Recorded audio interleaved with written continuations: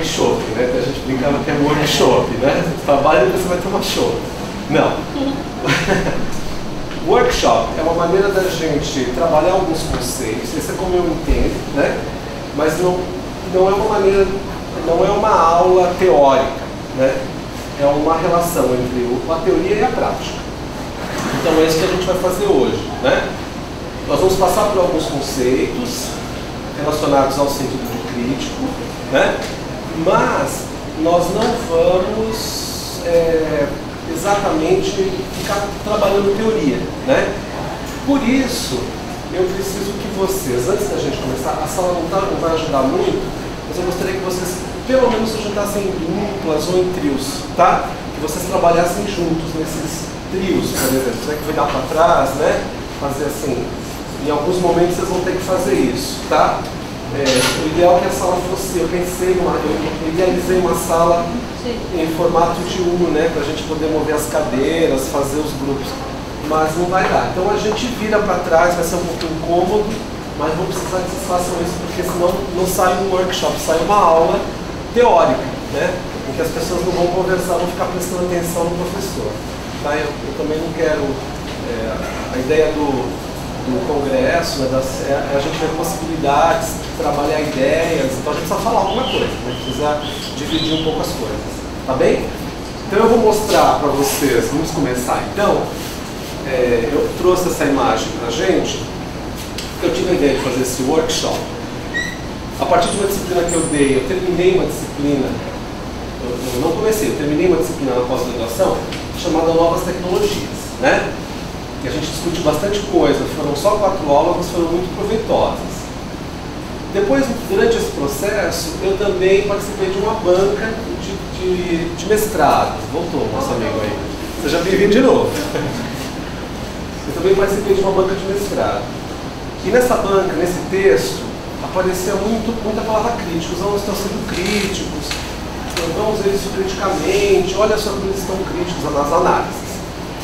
E aí, é, o aluno, o, candidato, né, ele tinha assim, para ele o crítico, era uma coisa assim, ele estava, ele, ele, mostrou um texto sobre, é uma aula de língua inglesa, o texto veio em inglês para os alunos, né, e os alunos então leram um texto sobre o lixo na Índia, história do problema do lixo na Índia, era, era, eu acho que era esse o texto porque eu não tinha o texto, só tinha o resultado, né, as, as discussões dos alunos. E aí o aluno, né, ele pegou os diálogos dos alunos e fez assim. O aluno falava assim, olha, tem muito lixo na Índia. Aí o outro aluno fala, é, mas tem mais lixo, quem produz mais lixo são os Estados Unidos. Ficou nessa conversa. E ele disse, então, isso era crítico, que era uma análise crítica, os alunos estavam criticamente analisando aquele texto.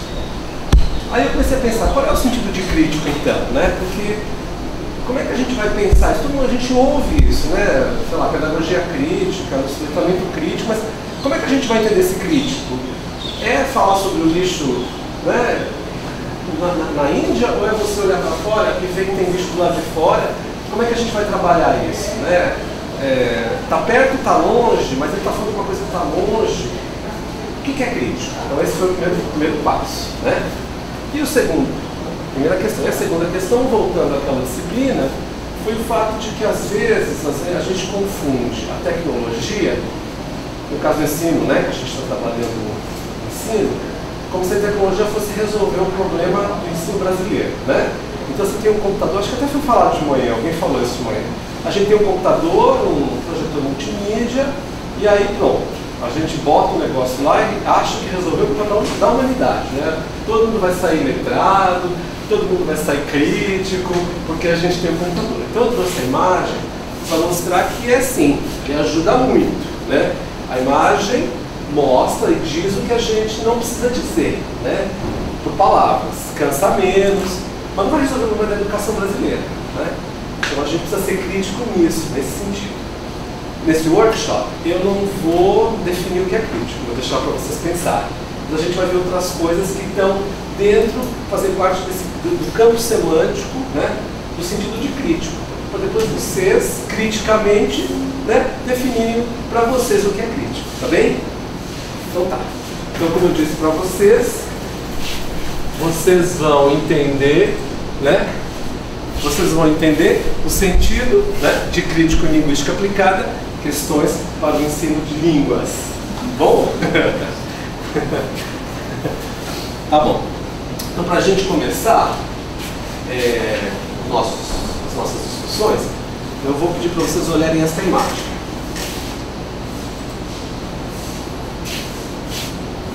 Aliás, desculpa, antes da imagem, né?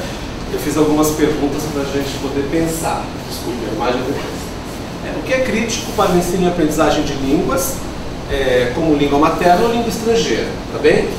Então, o que, o que é crítico para o ensino? Né? Como é que a gente vai pensar, nós professores, como é que a gente vai pensar esse sentido de crítico voltado para aquilo que a gente faz, né? como nossa atividade maior, que é ou será o ensino, tá certo? São quatro perguntas. Como o crítico e o ensino de línguas podem andar juntos nos estudos relacionados à linguística aplicada? Sabe que a linguística aplicada hoje é muito controversa, né? Uns dizem que aplicar linguística, que a linguística aplicada é a aplicação da linguística, outros dizem que tem uma outra, um outro escopo de teorias, né? Assim, eu sou, eu sou particularmente do, do, do lado de que linguística aplicada tem o seu próprio escopo de pensamento, a sua própria atuação, no sentido de que deve mudar, né? deve mudar as coisas, deve só olhar, observar o objeto, descrever, pronto. Então, deve interferir sim, né? Mas tudo bem, vamos pensar aqui também. A terceira pergunta que eu fiz para mim mesmo, quando estava fazendo o workshop, é como pensar criticamente o ensino de língua inglesa na escola pública? Né? Porque a gente tem é uma. A gente pode trabalhar em escola particular, não, tô, não é um problema. Mas há um problema, a gente sabe que é um problema na escola pública, né? E que a escola, a escola pública, pela sua liberdade para os professores, acaba perdendo em, é, em pedagogia mesmo, né? Então a gente tem que pensar isso na escola pública, esse é o meu ponto de vista como linguista, linguista aplicado, tá? E por fim, a última pergunta, né? Como professores de língua inglesa podem pensar e trabalhar criticamente nas suas aulas. Então, partimos da teoria e vamos pensar isso na aula. Né? O que é crítico e como é que a gente vai trabalhar isso na aula. Agora vem a imagem, finalmente.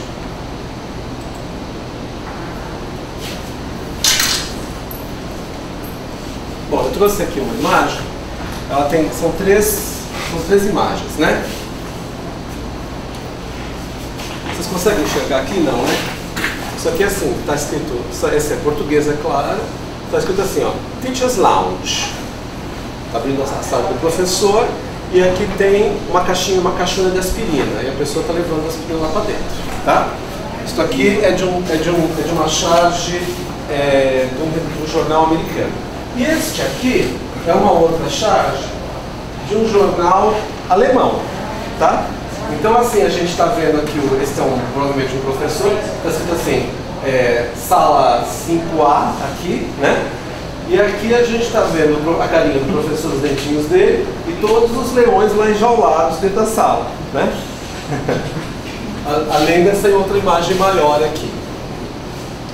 Então eu pergunto para vocês, é, uma das, das questões que circulam no mundo, é, aliás, é, os temas que circulam no nosso, na nossa vida, na nossa história, eles se concentram e se cristalizam em coisas, em objetos, né? Então, que temas, essa é a minha pergunta para vocês, que temas que estão circulando neste, neste nosso mundo, que vocês veem que não é só o Brasil, né? que estão se refletindo, ou estão se cristalizando nessas imagens. Quais são os temas que estão aí? Pode falar. Educação, ensino. Ensino, mas é um tipo de. Que tipo de ensino que está aí? Qualidade do ensino. Provavelmente ruim, né? Você não está num barco de Questão papel. ali, né? É. Então, ensino, o que mais? De Ah. é ruim, porque os professores são estressados e doentes. A própria questão, estressados e doentes, né? A gente tem aí. Que mais, que mais que a gente está vendo aí? A imagem dos alunos com qualquer coisa, menos gente. Menos gente. Leões aqui, né? Vandalismo ali nas paredes. Exatamente. Educação se refere. Na Alemanha, veja bem, estamos na Alemanha ali, né? Cultura, né? que mais? Cultural. Quer falar alguma coisa? Isso mesmo, né? A gente está falando, quando a gente pensa em educação, os temas de ensino, ser professor, formar professor, né? ser virar professor, ser formado professor, apesar de todas as belas palavras que a gente ouve o tempo todo, na realidade, né, os temas que circulam no mundo se cristalizam nessas imagens. Né? A gente sofre por algumas, né, pela ah, falta de apoio, você pode dizer, aqueles alunos parecem uns leões, querendo muitas coisas, às vezes a gente não tem condições de dar essas coisas. Né? sei lá, problemas na escola, vocês não viram de manhã, o negócio não funcionava, né? o, a- o som pegava. Então são, quer dizer, tudo isso vai contribuindo para esse sentido de ensino como um barco de papel afundando num mar enorme, não é mesmo? Eu acho que todos nós, como professores, já passamos por uma situação dessas, né? Ou como alunos ou como, professores. Oi. eu estava observando, estava estudando agora aqui no Mojami e eu me lembrei de uma, uma experiência minha que eu tive. Primeira experiência na sala de aula. Uma escola particular, uma escola privada e que na sala existia uma câmera lá no fundo da sala e uma câmera aqui na frente. E eu me senti um pouco ali, no, ali em cima, naquela imagem, Nessa onde aqui? eles estavam, não, ali do, dos leões Ah, né? Como se o professor estivesse é, um pouco tanto quanto retraído, não sei, com o comportamento dos alunos, o que é sem saber o que é que vai, o que é que vai esperar lá, lá, lá dentro da sala de aula, o que é que estava esperando. E isso me ficou muito na minha cabeça essa ideia, porque quando eu entrava na sala, os primeiros encontros assim, eu ficava, eu me sentia totalmente intimidado com com as, com as câmeras, É. né? Você sabe, eles. É, é, é verdade. Vocês sabem que a gente tinha, quando eu, meu tempo de dar aula, em curso, sim, né? Eu tinha idade de vocês, eu dava aula numa escola que tinha um aparelho de um alto-falante no fundo. E a gente sempre desconfiava como professor que aquilo ouvia a gente falar. Mas a coordenação dizia que era só para dar, dar recado, às vezes a gente ouvia a voz, olha, não sei o que, não sei o que lá, vai fechar a escola. É, às vezes tinha aquela brigada de incêndio, então a gente fazia aquelas simulações de incêndio, então a, a falava lá no alto-falante, a gente saía da sala organizadamente. Mas a gente sempre desconfiava que o negócio ouvia a gente na sala de aula, mas ninguém nunca provou. Aí você sabe que um dia, estava um dia muito frio e eu estava com muita gripe. Aí eu comecei, né, da aula eu comecei a espirrar. De repente aquele negócio falou saúde, então a pessoa estava ouvindo o que eu estava falando. A gente estava sendo observado sim. O negócio lá falou saúde pra mim, acho que a pessoa assim, né, não devia ter falado nada. Bom, então, essas, mas não quer dizer né, que isso que não tem uma solução para a gente pensar. né? Então vamos ser crítico, uma das dos conceitos de ser crítico é pensar soluções na diversidade. Né? Então se nós olhamos a diversidade, que outras soluções, que possibilidades a gente pode encontrar dentro dessa diversidade?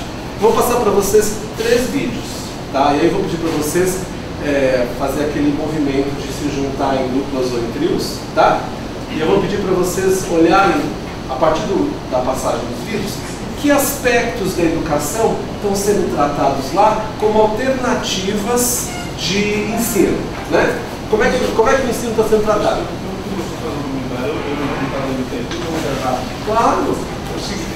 Uma, uma, uma, uma situação que geralmente, quando eu ensinava, sempre provocou assim, um pouco de, de temor, é o fato da- do embate que existe entre alunos e professores. Isso. Eu acho que quando a gente tem uma mesa que separa professor Isso. a visão que os alunos têm do professor Que eles é são- uma, uma visão autoritária, né?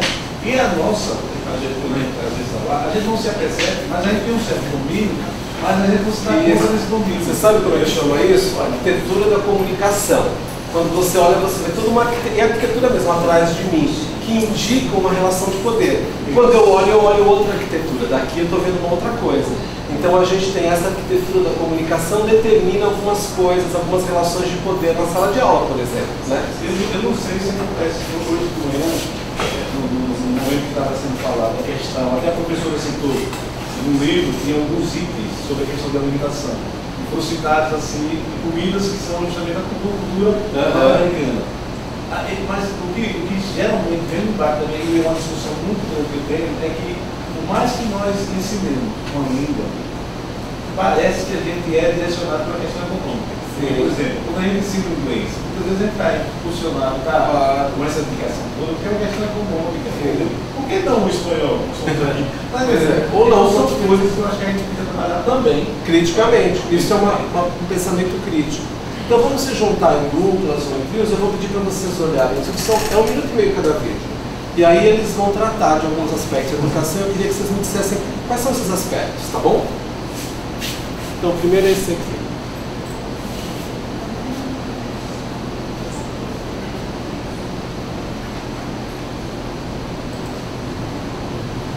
Professora, olha, se eu conseguir falar o que a senhora falou sobre a aula passada, a gente pode ir no passeio ver a coroa? Pode, mas eu quero ver isso. Ah, então tá.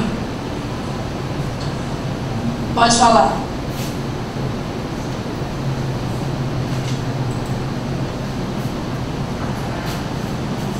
É o seguinte, esse aqui é o Morro Francês, onde, onde um maluco chamado Napoleão mandava, era o dono. E ele mudou o jeito dele de mandar. Esse aqui era o morro vizinho. E ele queria que o morro vizinho fosse da, da mesma maneira que o morro dele. Antes disso, a parada era dos ingleses, que, que vendia bagulho para toda a região. Mas Napoleão vencia pouquinho a pouquinho. E impediu os morros de comprar bagulho da Inglaterra. Os ingleses ficaram boladão e deram gol nesse filho da puta na batalha de Trafalgar. Primeiro, ele invadiu o morro dos espanhóis e fechou a boca dos ingleses que ele tinha lá. E depois caiu matando o morro do alemão. Assim que ele dominava o morro, ele dava pro chegado dele tomar conta. Porque era muita boca pra ele tomar conta. Aí o Zé Bunda foi querer invadir essa parte que era gelada, os soldados dele acabaram dançando. Aí ele tava quase invadindo o morro de Portugal. E Portugal, o jeito dele era fugir pra onde? Pra aqui, professora, pro morro da, da América, que também era dele. Mas por quê? Porque a Inglaterra queria salvar aqui, porque aqui é o comércio grande, aqui é o continente é maior. Aí o jeito, era os portugueses pedir ajuda para os ingleses. Pá, passou pra coroa deles. Salvar a coroa? Como que eles fizeram pra salvar a coroa? Ah, parceiro, aí eu já não lembro mais não. Deixa, deixa que daqui eu continuo. Olha aqui. É uma beleza. Mais um.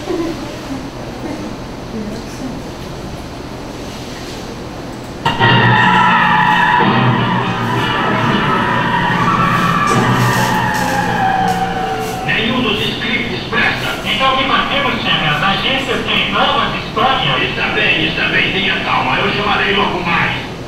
Vamos ver então. Secretaria, guardiaria, ah, este aqui, escritores. Eu aposto no fim. Está bem, cinco e mais cinco. Esses escritores matando tempo sua notaria. Acabei de ler esses scripts onde vocês mostraram suas ideias sobre o novo show. Não há nenhum deles que preste. Ah, lições de geometria, curso de química, conheço os animais de todo o mundo. O que é que vocês estão querendo fazer comigo? Ah, mas chefe, esses programas são todos educativos. Educativos? E o que acontece com o entretenimento? É que nós escrevemos tantos programas educativos Que esquecemos o entretenimento. e nossa missão tem sido educar o povo. Já os educandos demais são muito espertos para ter televisão. Que tal uma série cowboy? Ou um programa de médico? Hum, é tentador, mas já se acabaram as enfermidades. Isso foi o que provocou os programas educativos. É, bem, vamos almoçar. É o último.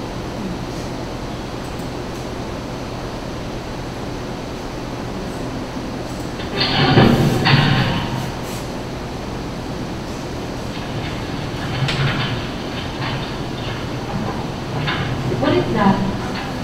You tell me. Carcass by Soutine, 1925. Só syllabus.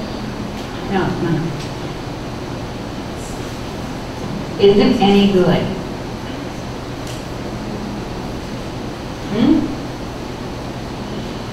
Come on, lady. There's no wrong answer. There's also no textbook telling you what to think. Not that easy, is it? All right, no, it's not good. In fact, I wouldn't even call it art. It's grotesque. Is there a rule against art being grotesque? I think there's something aggressive about it. And erotic. And to you, everything is erotic. Everything is erotic. Girls.